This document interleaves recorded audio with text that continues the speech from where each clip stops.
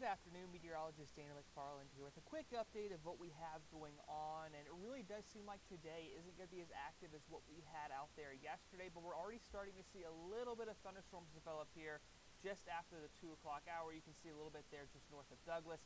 And I think the big spot to watch out for is mostly going to be right near the south of I-10. So if you look across the area here, really between Willcox, down around Sierra Vista and Nogales, the area I'm circling, this is going to be the most likely spot to see rain later on this evening, but it can't be ruled out for Tucson, especially during the evening hours too.